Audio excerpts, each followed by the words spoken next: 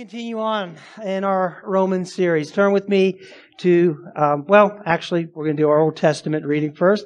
That's Psalm 14, Psalm 14, and then back to Romans 1.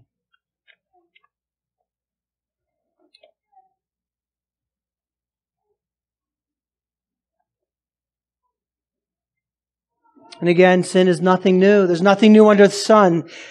We're just so thankful that God is gracious to us because Psalm 14 tells us this, that the fool, and, and the fool is that, that person, not just the buffoon, the kind of oddball person. Biblically speaking, the fool is the one who doesn't believe in God, right? With all the evidence that's there, everything that's written on his heart, he's the one who still denies God. The fool has said in his heart, there is no God. And they are corrupt. They do abominable deeds. There's no one who does good. The Lord looks down from heaven on the children of man to see if there's anyone who understands, to see if there's anyone who seeks after God. They have all turned aside. Together they become corrupt. There's none who does good, not even one. They have no knowledge. All the evildoers who eat up my people as they eat bread and do not call upon the name of the Lord. There they are in great terror, for God is with this generation of righteousness. You would shame the plans of the poor, but the Lord is his refuge. Oh, that salvation for Israel would come out of Zion when the Lord restores the fortunes of his people. Let Jacob rejoice. Let Israel be glad. Now over to Romans chapter 1. And it just kind of magnifies what we just read in, in Psalm uh, 14 about not knowing God, going astray, not having knowledge. This is much more um, comprehensive but it speaks to that same attitude and heart of unconverted man that we're away from God. We will begin um, in verse 24 this morning. As man turns away from God, we're told this, therefore God gave them up in the lusts of their hearts to impurity, to dishonoring of their bodies among themselves, because they exchanged the truth about God for a lie. And they worshiped and they served the creature rather than the creator, the creator who is blessed forever. Amen. For this reason, God gave them up to dishonorable passions. For their women exchanged natural relations for those that are contrary to nature. And the men likewise gave up natural relations with women and were consumed with passion for one another. Men committing shameless acts with men and receiving in themselves the due penalty for their error. And since they did not see fit to acknowledge God, God gave them up to a debased mind to do what ought not to be done. They're filled with all manner of unrighteousness, evil, covetousness, malice. They're full of envy, murder, strife, deceit, maliciousness. They're gossips, slanderers, haters of God, insolent, haughty, boastful, inventors of evil, disobedient to parents, foolish, faithless, heartless, ruthless. Though they know God's righteous decree that those who practice such things deserve to die, they not only do them, but give approval to those who practice them. This is the story of human nature. This is the story of pagan cultures, of people down through history since the fall. That's what this is. This is tough news. And I know we're going through it for the first two and a half chapters. We're going to be talking about this. We have been talking about this until we get to the good news of the gospel of Jesus Christ. But he wants to make sure that we understand how bad the bad is. I think that's a mistake with so many churches today. They're afraid to tell people, this is how bad our situation really is, which makes the good news so wonderful. You know, we can't, we can't go easy on that. You know, we can't pat that down. We have to be biblical to understand the, the nature of our sin and then the grace of God. So, um, the, these sins that we've mentioned here, we picked up on, we started last week. They've always been around. There's nothing new under the sun in that way. But here's the deal, and here's what we have to understand, and you're going to hear this throughout the sermon. I am intentionally repeating this kind of theme just so it gets into our hearts and minds.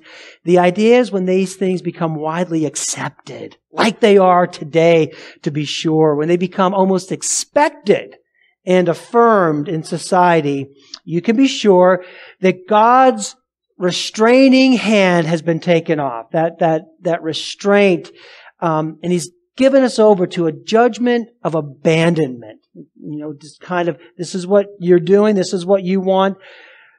You're going to see where this ends up apart from my grace. And we started last week on this vice list, as they're called um, by, by some. And um, what I want to do today, I really want to focus in on verse 32. Um, but I do want to go through the through the list. Last week I told you it was kind of a machine gun approach through these sins. That was kind of semi-automatic. Today's going to be automatic, just fully automatic. We're going to take these in bunches, but just get that idea of this is what it looks like apart from God. This is who we really are. After you take all the falseness, the, you know, the false goodness, when you take, when you strip everything away, we lay bare before the Lord in this manner. This is just how it is. And so, um, we'll pick up this morning with, um, strife and deceit in, in our text.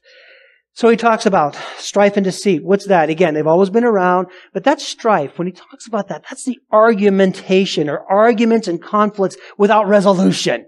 Now, do we live in that day and age or what? You know, everywhere you turn, it doesn't matter what television show, daytime show, nighttime show, radio talk shows, there's always this conflict. There's always these arguments. There's always these opinions. There's everything going on, but without any sort of resolution. You're not working towards resolving that issue. You're just kind of getting your shots in and you're building up strife. That sows discord, disharmony with no, nothing to gain from it. And it's just kind of useless. It's nonsensical. And, and you're going to hear and you have been hearing throughout this, this is crazy what's going on. We're saying it. This is insane what's happening. But that's very characteristic of the nature of, of Satan and of evil. And that's kind of where we find ourselves. And this just kind of adds to it, doesn't it? Deceit. That's just simply misleading for your own advantage. You're just going to say, without any very intentional, without any remorse, without thinking about it twice that you're doing anybody wrong. You're just going to deceive and say what you need to say to get what you want. And we live in that time in spades, to be sure. And then there's gossip and slander. He goes on and says, there are gossip and slanderers. Gossip, that word means whisperers. It, it kind of has that, that, um, that, that tone of, of kind of spreading information, passing on rumors, even passing on truth, whatever it is, but you're passing these things on. Wait till you hear this juicy news. Wait till you, you know, this, this is about this person over there.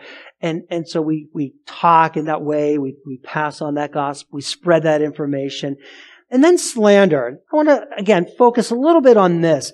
That word just means the making up of lies and half-truths with the intent of damaging a person's reputation. Gossip's bad enough, you know, we're all prone to that. Did you hear about this? Did you hear about that? But slander's a different story. And in the day that we're living in, it is, there was a time when you slandered somebody, you could be in big trouble for that. And you took that to heart. You didn't, that was, there's no restraint on that anymore. People are making up lies, telling half truths with the intent of damaging a person's reputation. And there's no fair repercussions. You know, it doesn't matter that you're making up lies about people and spreading them all over the place. That's just the way that it is, and it's just become accepted. It wasn't like that even several years ago. If you slandered somebody, that was a big deal. Your reputation would be damaged if you were found out to be that slanderer. Not anymore. The people just double down, as they say, or even triple down. Right? And then we move to a bunch of prideful sins. Uh, sins of, of deep pride. They're haters of God. They're insolent, arrogant, and boastful. Haters of God. It's openly defiant, boldly rejecting God. There's no pretense anymore. You know, no, well, maybe there's a God, and perhaps if there's a God there, it doesn't matter if there's a God or not. That it, uh, who cares? So what? He's irrelevant. He's a joke, and we're going to do what we want. They are haters of God. Um, there's a, there's a book by an atheist called "God Hates You, So Hate Him Back." Well, that's kind of interesting that an atheist would say that there's actually a God who exists. But anyway, that's the, that's kind of the title of the book. And that's what's out there today. Just open, bold, and brazenly rejecting God. Insolent. That is to treat others as they're very much beneath you. There's no decorum today. There's no humility today. There's no this, this is that person who's loud, who's proud, who is intelligent, you know, who's been given that gift of intelligence, but he looks at everybody else kind of as peons or you're beneath me and he'll ridicule you. There'll be contempt for you. There'll be rude to you. Or what do you know? You know, I, I don't, you don't know anything and I, you know, I know pretty much everything. That's insolent. Related to that is arrogance. They believe that they're superior than others. You know, people are arrogant. Now they may come across kind of a difference between insolent and arrogance is with arrogance, you might initially come across as somewhat humble. But as you start talking to that person, that pride comes out, that arrogance comes out, that know-it-all attitude comes out. You know, I'm, I'm, I know more than you. That comes across. And then boastful. That word actually has reference to like a snake oil salesman. I always think of Chef Tony. I don't know if he's a snake oil salesman. Remember the Miracle Blade commercials? How boastful he was, how proud he was of those knives. Did any of you ever purchase the Miracle Blades? Miracle Blade 2? They still sell? No, I don't think anybody did. But you know, most of you, or some of you at least know who I'm talking about. But it's that idea of boasting about something, of belief, of selling it, you know?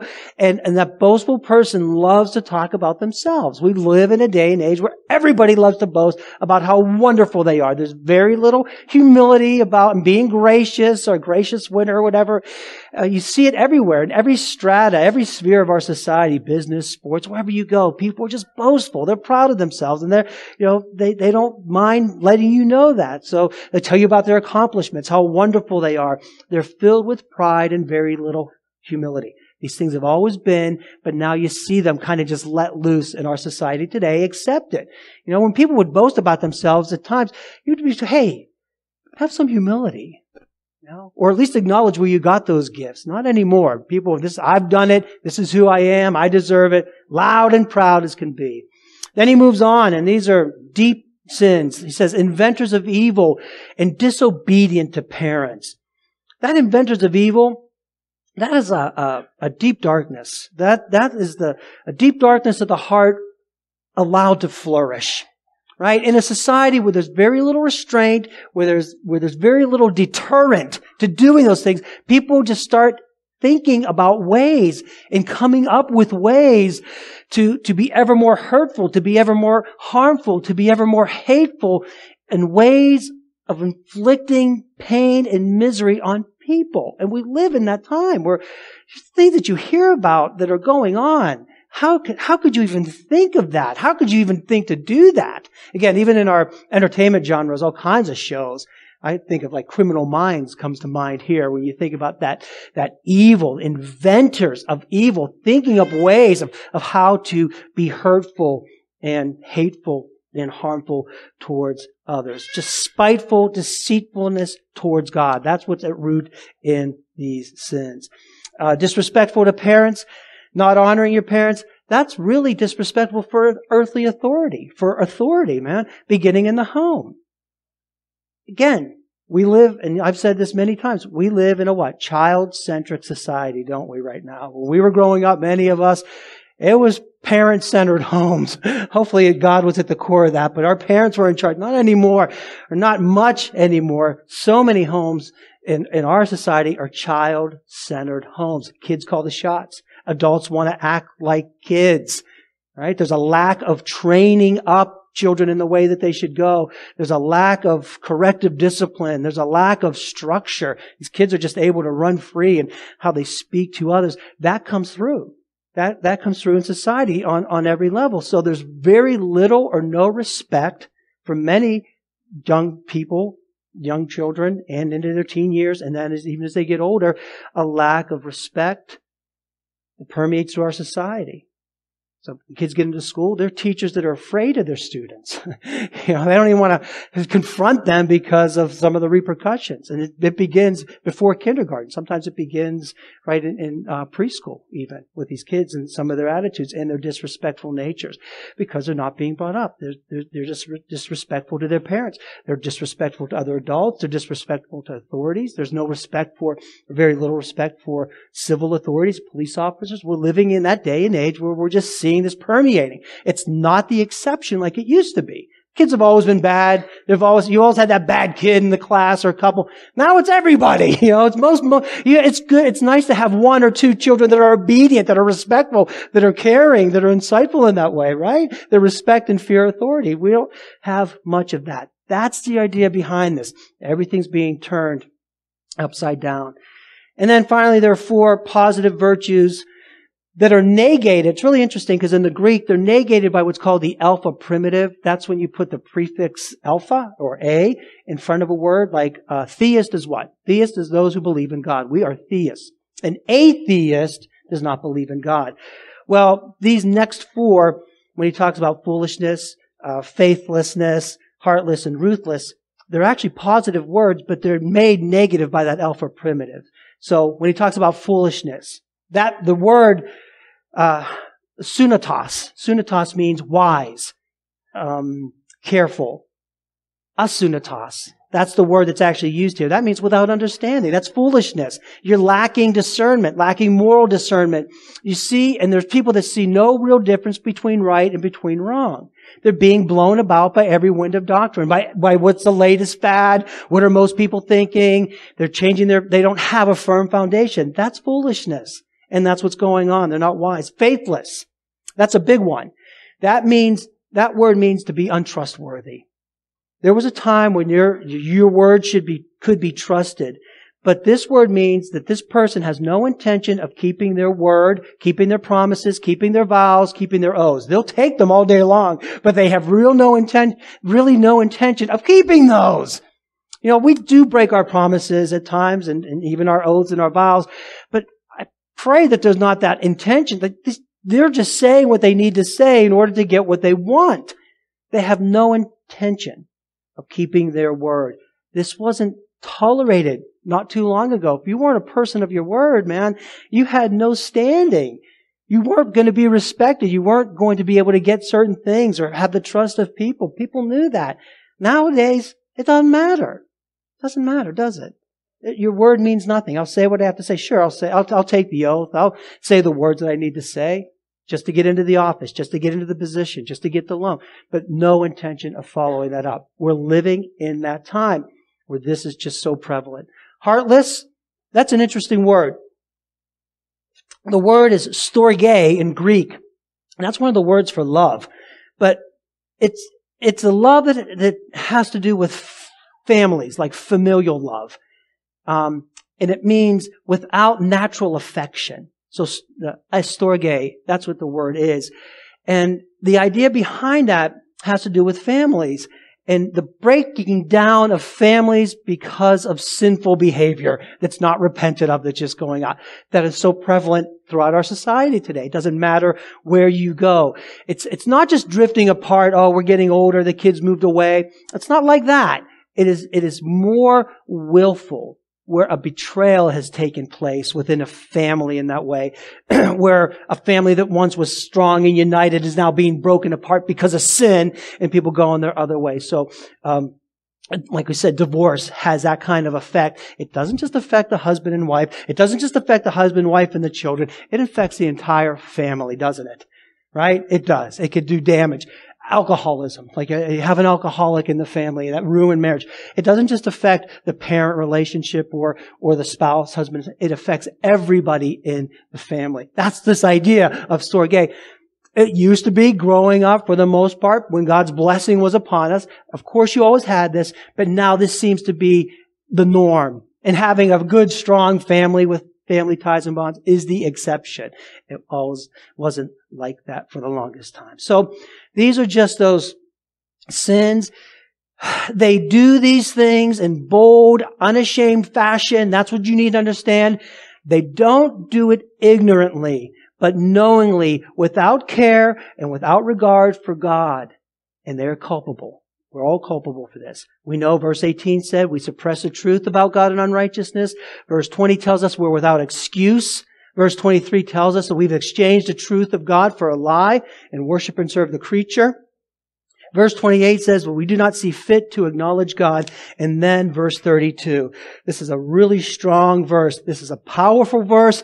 It's an instructive verse and it's a heartbreaking verse at the same time. He says this, though they know God, they know God's righteous decree that those who practice such things do deserve to die. They not only do them, but they give approval to those who practice them. This is when you know that you are under God's judgment. This is when you know that you're in big trouble as, as a society and as a people.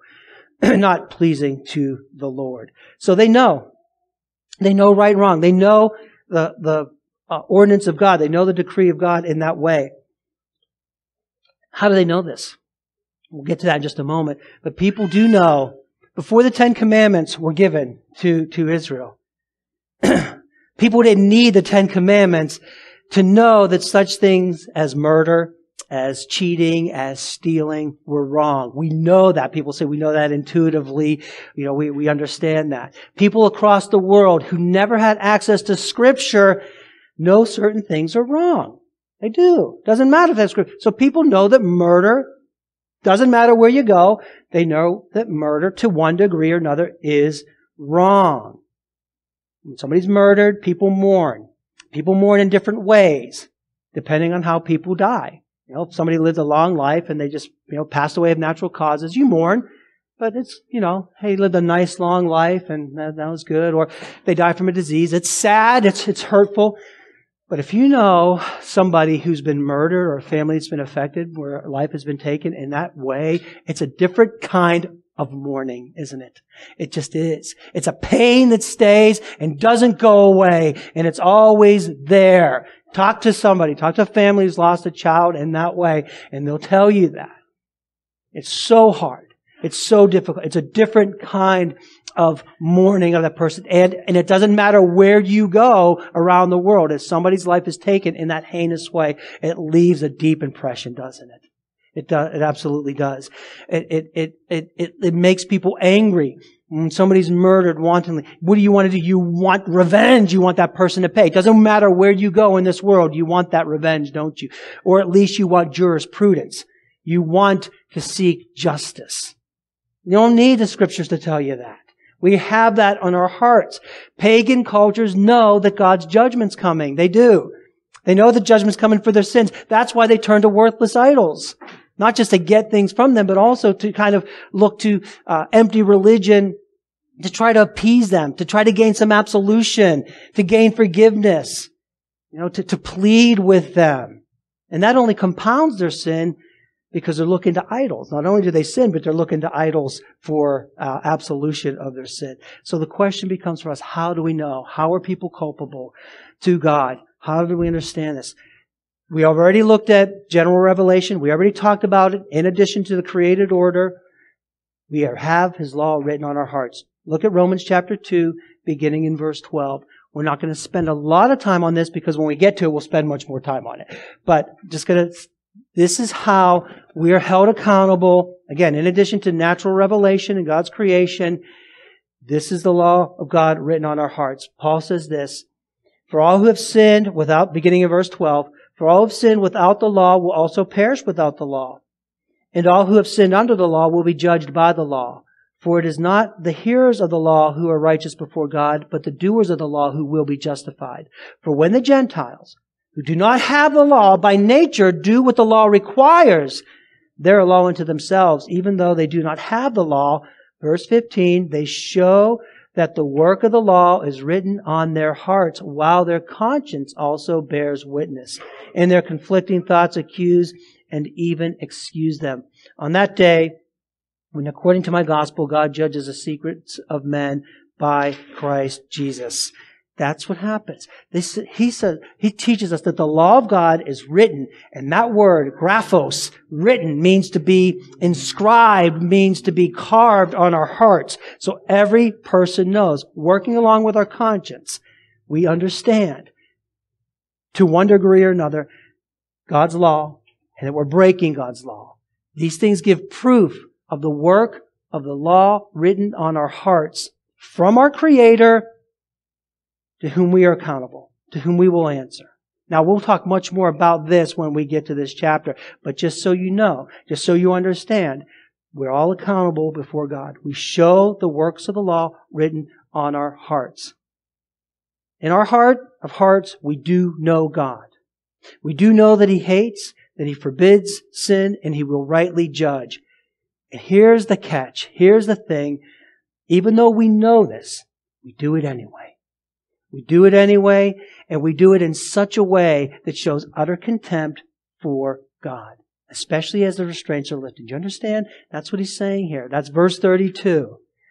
Ecclesiastes 9.3 tells us this, like kind of when sin gets this far, it says, this is an evil in all that is done under the sun, that the same event happens to all, that we're sinners and that we continue to sin. Also, the hearts of the children of men are full of evil and madness in their hearts while they live, and after that they go to the dead. He says it. He says there's an insaneness about it. When it gets this far, when it, when it just, when God takes his hand off, there's, um, it's just chaotic. There's disorder. There's confusion. There's destructive patterns that, that just happen, just permeate. That's like the devil's playground. And that's kind of where we find ourselves to be sure. We approve of sin. He says, um, though they know God's righteous decree that those who practice such things deserve to die, they not only do them, but they give approval to the ones who practice them. We approve of sin. We commit that sin. We encourage others to do the same. And when you do that, and this is where we find ourselves today, what's it do? It gives confidence to other people. It gives them this false assurance. You know what? If they're doing it, or if these people say that that's okay, then what's wrong with it? You know, we might as well join in. Well, it can't be so bad. That, you know, that, that's not, it's not terrible because everybody else is doing it. So, so it kind of, you build that false sense of security and that false confidence. Well, it can't be that bad if everybody's doing it. It is that bad if it's against the Word of God. And these things are against the Word of God, and yet they continue to do them. So check this out. When we approve of the sin, when we commit sins, as it's being taught here, and encourage others to do the same, to join in. And when we join them, we start getting into the Isaiah 5, Judges 17, Proverbs 2 territory. And beloved, that's where we find ourselves today. There's no doubt about that. You have to believe, you have to understand that. So Isaiah 5 says this. This is where we find ourselves.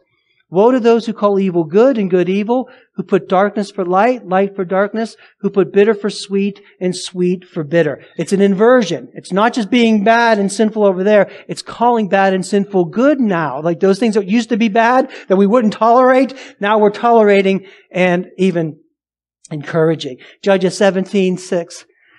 In those days, there was no king in Israel, so everybody did what was right in his own eyes. We're living in a day where everybody is doing what seems right to them. Forget about the standard. Forget about what's actually right and true. I'm going to do what feels right. I'm going to do what feels best. Right? For me, Proverbs 2.14. It's the sinners who forsake the paths of uprightness to walk in the ways of darkness, who rejoice in doing evil and delight in the perverseness of evil. See, that's another level of sin you know what? You can sin and agree with God that it's wrong. Many people do this. You will talk to people, I know it's wrong, but I just can't help myself. You know, I know that it's wrong, but I'm going to do it anyway. And so people can sin and agree with God that it's wrong. But when you see your sin as somehow acceptable before God, that's the, that's the difference. When you see that, that it's acceptable, that it's good, that it's right, then you've reached this like, a, uh, like another level of depravity. And that's where we've kind of find ourselves today. So it's not just, listen, 40 to 50 years ago, even in our nation, we had laws against all kinds of things and against sexual sins for sure. There were certain sexual sins that were illegal, illegal to perform, prostitution, homosexuality. There were laws on the books. They still might be on the books. They're certainly not enforced, but there were laws on the books. Yet people committed sin. They still committed those. Why? Because they're sinners. Sinners are going to sin in that way. But listen, both the majority of the culture and many of those who committed these kinds of sins knew that they were wrong. The culture knew. There was an understanding. There was a morality. There was a sense there that that's not acceptable. And even the people committing the sins, so many of them, understood and knew that it was wrong. And they did feel, in, in very honest moments, they did feel the shame. They did feel the guilt. There was a stigma. There was a wrongness to it. There was an immorality there. Why is that? Why is that? Why, why were these things? Was it because of cultural norms, like so many people are saying today? Well, that's just a cultural construct. That's why. No, it's not. It's because then just as now and as always, these things are contrary to God's intention. They're contrary to God's will. They're contrary to God's design. They're contrary to God's law. And we know it. Right?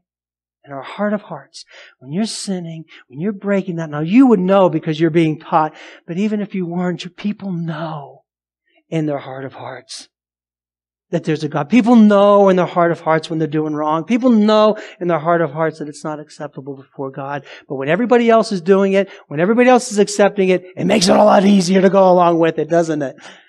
And that's where we find ourselves today. That's why there's such an urgency. I hope you can hear the urgency and feel the urgency and see the urgency uh, among us today. See, it's not an accident. I mean, let me, let me ask, what's changed in all this? Has God changed? No. Has His law changed? No. Has the practice of sin changed? No. But what has changed is that there's been a wide acceptance, open approval, the perception that these things and so many other sins, sins that we mentioned here, sins that are mentioned here, are no longer seen as sin. They're not even seen as mistakes. They're not even seen as wrong things necessarily, but they're seen as actually good. They're seen as right. I'm just being my authentic self. This is who I am, and I'm not going to be ashamed of it. Well, you should be ashamed because you're sinning against God, and you're going to answer to Him in that way. But we've come to that place where, where now certain sins, it's brave. It's seen as, it's seen as brave. It's seen as, as praiseworthy. It's seen as good and it's seen as right in the eyes of the world. And when people start seeing that, it's easier to do it, isn't it? It's easier to accept it and it's harder to stand against it. It's not an accident.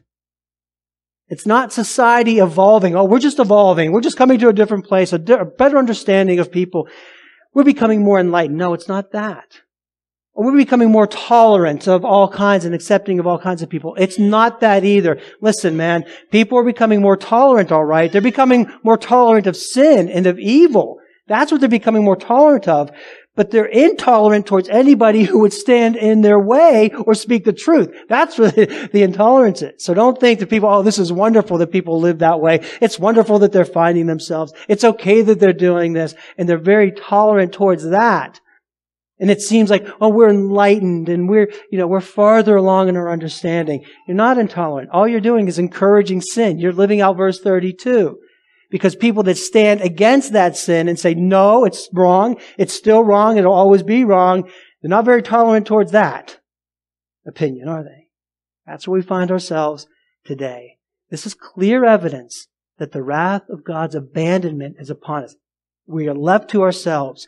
This is what you get when you give up God. This is where you end up. And we're quickly coming to that place. Now, of course, many people love what's going on. Right? People are embracing it all over the place. Wholehearted embracement of what's happening morally, ethically, socially, things that are going on in the world. It, there's just a great acceptance. People see this as wonderful things that are happening. Even as insanity reigns, as chaos ensues, as instability abounds, not just here in our nation, but around the globe. This is, this is what, this is going on all over the place. Truth is relative. Do you know that? My truth might not be your truth. And there's not a certain truth, an absolutely certain truth. There's no absolute truth. Lies are considered to be true. That's the world that we're living in today. And you can't say, no, no, here's the objective standard, here's the objective truth, because then you're going to be called a bigot or a racist or whatever else, you know, whatever pejorative, whatever ad hominem attack they can level against you, where you tell the truth, because it is absolutely relative. We live in an out of control, uncontrolled, over-sexualized, anything goes society and world. We just do. That's the place we find ourselves. There's no restraint anymore when it comes to that area. We've talked about that earlier. We deny, we're living in a day and age where we deny basic biology, basic physiology, fact, science, reality. We're just denying it. We're in denial of, the, of these things. No, you know, just, I don't believe that, so it can't be true. Here's what I believe about myself, so it must be true. Two plus two equals five, and that's okay because it does for me. We're living in that time. This is insane. This is what's happening. This is chaos. This is instability. This is um, disorder. This is all what Satan perpetrates and perpetuates. This is what he loves. It's just the opposite of what God demands and wants for us. Order, discipline, truth, clarity. Right? Widespread corruption on every level of government. Our justice system is filled with partiality. We're going easy on criminals and, and hard on the innocent. It's supposed to be fair, just, protect, and serve. Now we have criminals who are exalted and heroes who are denigrated. It's the day we're living in. It's the time where, right now, indoctrination rather than education is taking place in institutions of learning all over the place. Trust me, this is a big deal. It's a big deal for our students. I never thought three or four years ago that I would be encouraging anybody, well, to this degree to pull their kids out of public school. Why? Because they're not being taught the basics. Right? Math, reading, writing, arithmetic, history. Now there's some faithful teachers in that way, but there's a system behind that that's saying, no, here's what we're going to incorporate in our schools. Here's what we're going to teach kids from the youngest age. If you feel like a girl, then you're, or you're a boy, you feel like a girl, then that's okay. You don't have to tell mommy and daddy. You know, and here's what you need to understand about your race, and here's what you need to do about this. We're, we're indoctrinating rather than in, in educating in places, in our institutions of higher learning, of learning altogether. This is where we're at. This is where we find ourselves. I'm sorry about that dangling participle there, uh, our preposition. so many churches are caught up in this too. It's not just the world out there, it's also in here. This is why we need to be strong. Right? So many are caught up in knowing the decrees of God, practicing these things, knowing they deserve punishment. They not only do them, but they shake their fist and they give approval to those who practice them. It's not just in the world, it's in the church as well. This is why we have to warn about churches. Where you go to church. What are they teaching? What are they preaching? What are you listening to on the internet? Who are you listening to on the internet? Who's influencing you? Are they being biblical? We're concerned about that because so many churches are caught up in, go, in, in this and going along with this. So much of the church is apostate right now in the land that we're living in. You know, from liberal to progressive to, to beyond that. Um, just a few headlines. It's a Christian website. Check out some of these headlight, head, highlights, uh, headlines. Hit those lights, Tony. I think this is from um, Reformation Charlotte. Headline, Kansas City pastor screams at congregation, broke, busted, disgusted for not giving him enough money to buy a watch, like a $100,000 watch. What's the next one? Um, Revoice founder suggests that if you oppose their gay Christian movement, you are a Pharisee. Historically Black Baptist Church hosts Charlotte Gay Pride Interfaith Service. Historic Baptist Church in Kentucky hires homosexual youth pastor as, quote, co-pastor. Lutheran pastors meet up at gay bar for celebration after annual meeting. Um, drag story hour. When? September 4th, after the service. Where? Holy Spirit Lutheran Church. So on and so forth. Remember that Queens love tips, so bring some fives with you as well as any food donations for the food bank. Hope to see you there. Alberta Church encourages children to bring $5 bills to tip drag queens during Sunday morning drag performance. This is where we find ourselves. This isn't a joke. This isn't a parody. This is actually true. What do we do? Isaiah 5:31 tells us this. Within the church, Yeah, I did go out of order. I'm sorry about that. I'm sorry, Jeremiah 5:31. The prophets prophesy falsely and the priests rule at their direction. My people love to have it so, but what will you do when the end comes? Micah 3:11. Its heads give judgment for a bribe, its priests teach for a price. Its prophets practice divination for money. Yet they lean on the Lord and say, Is not the Lord in the midst of us? No disaster shall come upon us. So we find ourselves at this time.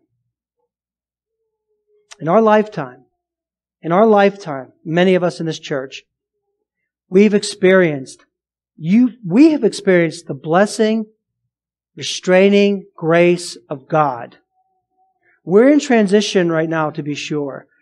That's been removed. You have to, you, right now, you can't think like that. That's been removed. We're under the judgment of abandonment of God, and we're reaping the consequences of that. You have to get that through.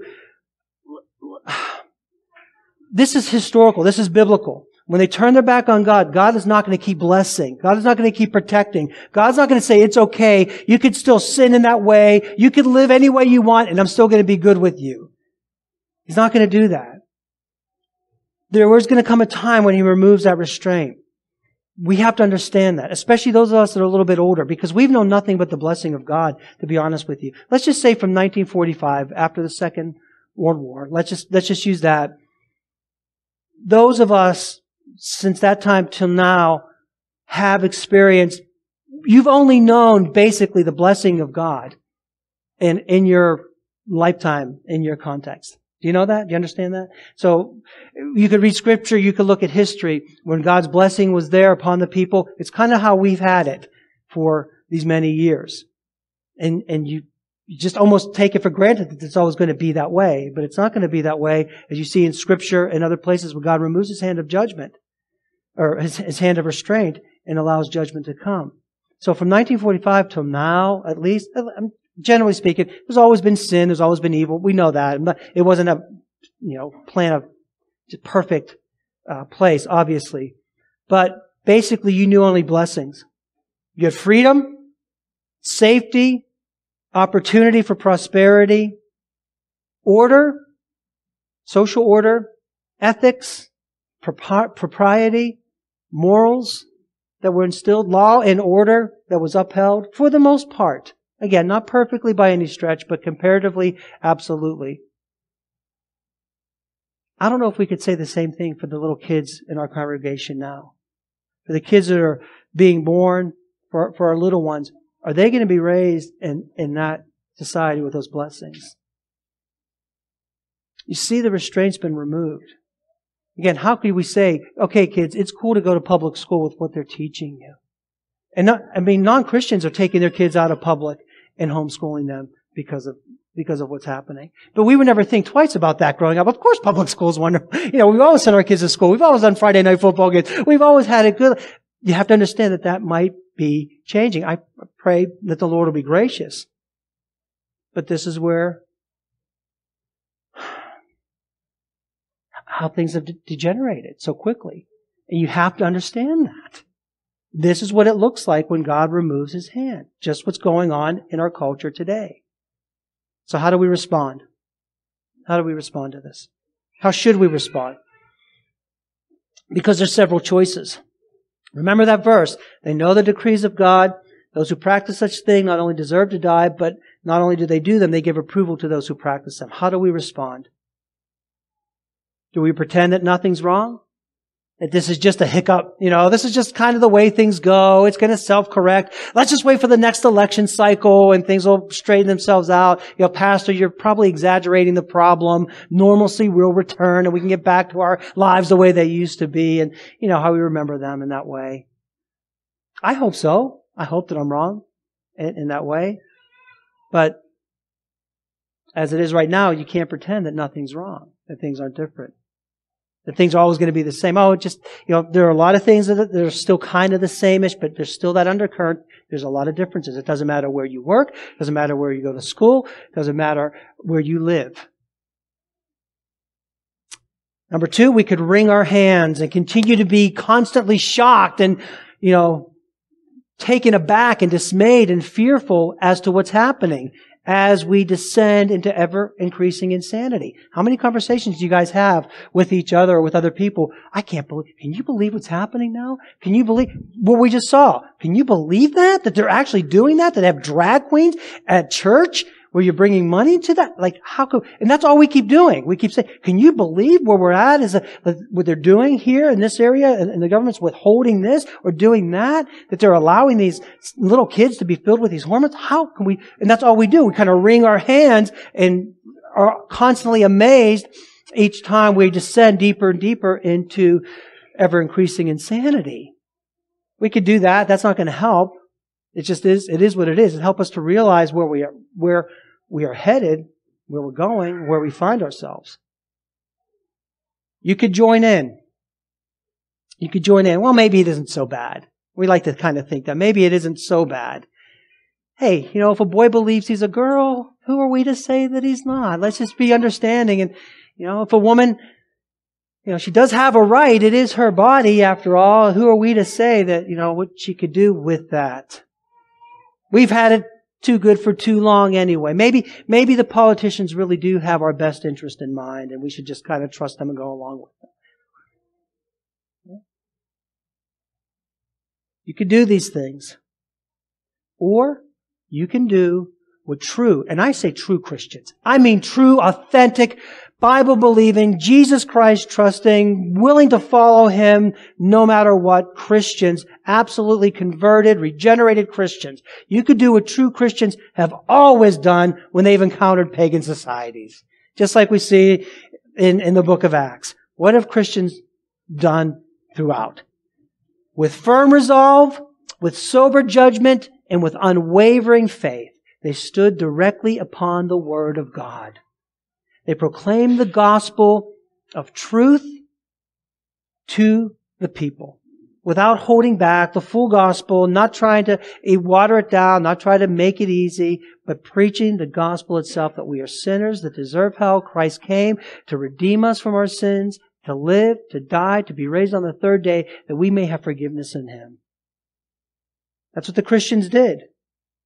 They didn't and they were involved in society to a degree, but ultimately we know it's through the power of the gospel, the power of God's word, the power of your resolve to be who you're called to be as a Christian in this world, as the Lord gives you opportunity to stand and to speak, you must do that. You cannot remain silent. So you need to proclaim the gospel of truth, and then you need to be prepared to deal with the repercussions. I think we could do a lot of this stuff. I think we could say, of course we're gonna have firm resolve. We're Christians. We see what's going on. We have that sober judgment. We're not being fooled by what's happening. we have unwavering faith. We're not going to stop believing in Christ. We are going to stand on the Word of God. That is our standard. That is our hope. We do proclaim the gospel as the Lord gives us opportunity to do that. But are you prepared to deal with the repercussions of that? And that's a big deal. Are you willing to suffer the consequences for standing for righteousness? Are you willing to do what's, what's going to be called for some of you to do very difficult steps to take in order to remain faithful to Christ? That's a big deal, isn't it? We're faced, we're seemingly going to be faced with that reality if we're not faced with it already. Willing to do that. That's where the rubber, that's where the faith comes in. Because it's easy to say these things. We can preach the gospel, but are you willing to deal with the repercussions? Are you willing to do what's necessary to remain faithful to Christ? No matter what. Are you willing to lose your job? Are you willing to have to move? Are you willing to take your kids out? Are you willing to, to stand and, and speak the truth before your government? Willing to take those repercussions? Because that's what happens in these times. When his hand of restraint is lifted off, we see the sin increasing. But as you stand against that sin, they're going to come for you. They're not going to let you off. The, it's coming already. Didn't our, our governor just sign the, um, what did he just sign? The conversion therapy? That that's outlawed? That you can't, you can't do, you, even if a person wants to talk about that, you don't really have the right to do that. You see, the, the, the laws are coming out, and to stand against it is going to cost us.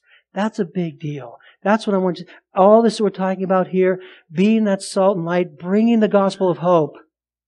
Are you ready to have your life disrupted for the cause of Christ? These are real questions to ask ourselves. Again, maybe five years ago we wouldn't even think like this, but now we are. But this is what happens. So Paul says in 1 Corinthians uh, 123, we preach Christ and Him crucified, a stumbling block to the Jews and folly to the Gentiles. Of course, we preach the gospel. That's what we're going to do. That's the, that's the remedy. That's the solution. Uh, Philippians 129, listen. For it's been granted you, to you for the sake of Christ that you should not only believe in Him, amen, that's wonderful, but that you should also suffer for His sake. How do you suffer for His sake? You're not going to suffer just for loving Christ. People say, "Oh, you can, you know, worship your God all you want." That's the Christians were never um, really suffered for that. They suffered as enemies of the state. That they were disobedient. That they wouldn't give honor to the emperor. That they wouldn't do certain things that governments required them to do. Evil governments required them to do, or that were going against what was popular or standing up against it. That's what got them in trouble. In 1 Peter 4, 12 through 16, I'll leave you with this. Because I think this is where you need to be encouraged. I think we we we could agree that we're, we we're in that place right now as we're, we're coming into it. And we need to stand. So Peter says this in 1 Peter chapter 4, and we'll end with this. As we stand firm for the Lord, as we make those hard decisions, as we remain faithful, then I think we need to be ready and we need to hear this. Peter says, Beloved, do not be surprised at the fiery trial when it comes upon you to test you, though something strange were happening to you. So if you're being faithful, and we're living in a country where, you know, again, several years ago, things that we just took for granted no longer. And if you stand for those things that you took for granted as morality, things like that, um, husband, man, and woman in marriage, get ready. You know, and don't act like something strange is happening to you, because when you're faithful, this is what happens to you. We're standing on the truth. He says, don't act as something strange is happening to you, but rejoice insofar as you share in Christ's sufferings, that you may also rejoice and be glad when his glory is revealed.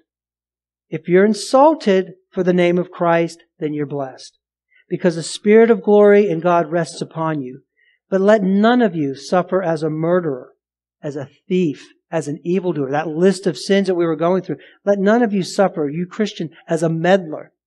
If any one of you suffers as a Christian, let him be not ashamed, but let him glorify God in that name.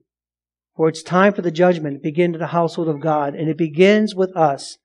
What will be the outcome for those who do not obey the gospel of God? We're called to stand. We're called, we're, we're at a time, this is a line of demarcation. It's really, really interesting to see. We've been blessed. We've had that hand. We know that. That, that restraint has been lifted. And so it's transitioned to, to, to that judgment. So how are we going to live as Christians in this time? It's okay. Nothing's wrong. It's going to be okay. It's going to go back to normal. It's really not that bad. We just give in and go along.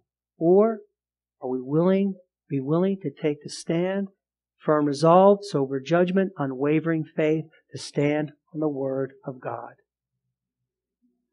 How will we live in these days?